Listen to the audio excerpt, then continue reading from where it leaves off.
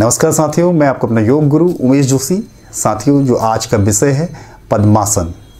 पद्म का अर्थ होता है कमल, और कमल जो हमारे भगवान श्री हरि को बहुत ही पसंद है। तो पद्मासन कैसे करेंगे? तो उससे पहले मैं आप सभी से निवेदन करूँगा कि आप हमारे इस यूट्यूब चैनल को लाइक करें शेयर करें सब्सक्राइब करें साथ ही साथ बेल आइकॉन ज़रूर दबाएँ। तो साथियों किस तरह से करते हैं पद्मासन कर, करते हैं। तो सर्वप्रथम हम अपने स्थान पर बैठे हुए हैं और अपने बाएँ पैर को उठा करके हमने दाहिने पैर के ऊपर रखना है। इससे हमने बायां पैर उठाया और थाई के ऊपर रख दिया दाहिनी। ठीक है उसी तरह अब धीरे से हम अपोजिट लेग को उठाएँगे और इस तरह से इसको अपोजिट थाई के ऊपर रख देंगे। तो साथियों ये है इस तरह से हम बैठे हुए हैं, ये दोनों पैर इस से एक के ऊपर एक हैं। ये है पद्मासन मुद्रा।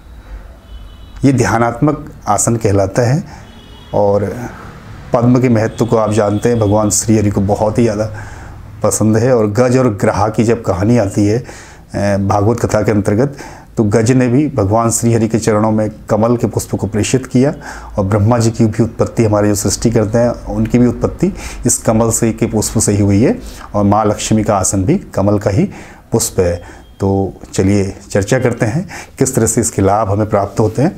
सहस्तम भाव से हम वापस आते हैं अपने स्थान पे और इसके क्या लाभ होते हैं? हमारे जो घुटने होते हैं, घुटनों पे और कूल्हों के जोड़ों पे लचीलापन आता है और जो घुटने हैं और टखना है हमारा।